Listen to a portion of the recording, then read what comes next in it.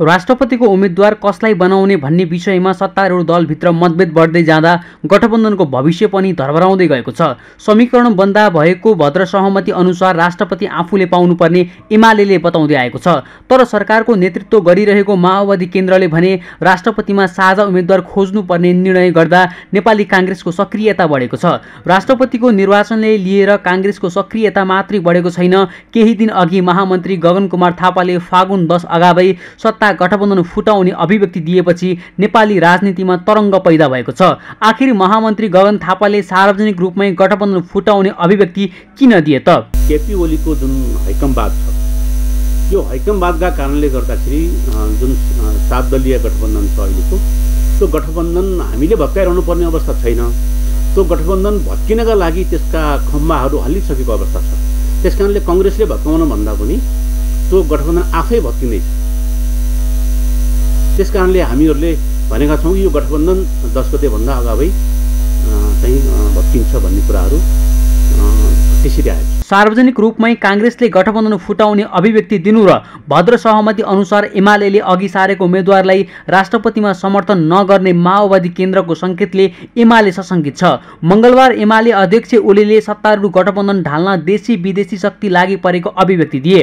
सोही कार्यक्रममा एमाले महासचिव शङ्कर पोखरेलले नागरिक समाजका अगुवाका विरुद्धमा लाग्न भाद्री सङ्गठनलाई तयार हुन दिएको निर्देशनले पनि एमाले आफैले गठबन्धन भत्किन सक्ने अनुमान गरेको बुझ्न सकिन्छ। अब यो समीकरणको पक्षमा नभएकोले भत्काउन लागिरहनु भएको होला त्यो पनि स्वाभाविकै मान्छु मैले होइन? अब कसैलाई मन नपरेकाले मन परेको काम गर्ने कुरामा लाग्ने कुरालाई अन्यथा मान्नु पर्दैन।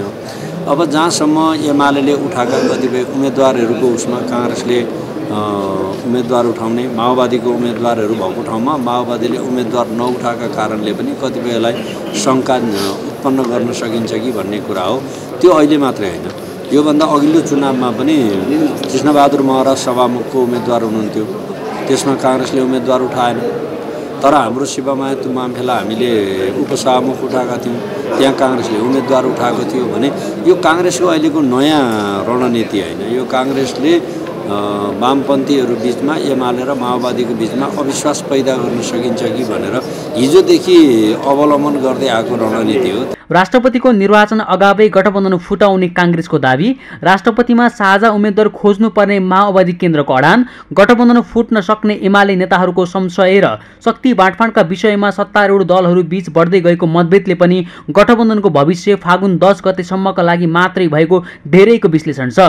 तर सत्तारूढ दलका नेताहरूले भने राजनीतिक स्थिरता र स्थायित्वको लागि वर्तमान गठबन्धन बचाउनुको विकल्प नभएको दावी गरेका छन्। अब राजनीतिमा यी स्वाभाविक प्रक्रियाहरू हुन्। अब आफ्नो गठबन्धनको सरकार बन्दाखेरि सबैले आफ्नो मागहरू राखेका हुन्छन्। ती मागहरू पुरा नहुँदाखेरि कतिपय कुराहरू देखिन्छन्। र सुदूरपश्चिमको सरकारमा जुन समस्या देखियो त्यो त्यही भएको नागरिक उन्मुक्ति पार्टीले राखेका मागहरू सम्बोधन हुने खालको देखिएन। त्यो भएर त्यहाँ चाहिँ समस्या देखिएको हो। केन्द्रमा पनि अब यहाँ त प्राविधिक समस्या नै देखियो।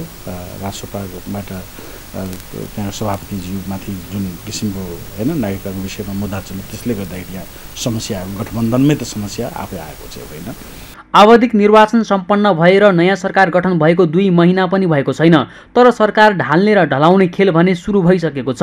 अझ राष्ट्रपतिको निर्वाचनमा शीर्ष नेताहरूबीच सहमति जुट्न नसके मुलुक फेरि अस्थिरताको भुमरीमा फस्न सक्ने भन्दै त्यस्तो नहुने गरी राजनीतिक दलहरू अघि बढ्नुपर्ने राजनीतिका जानकारहरूको सुझाव छ।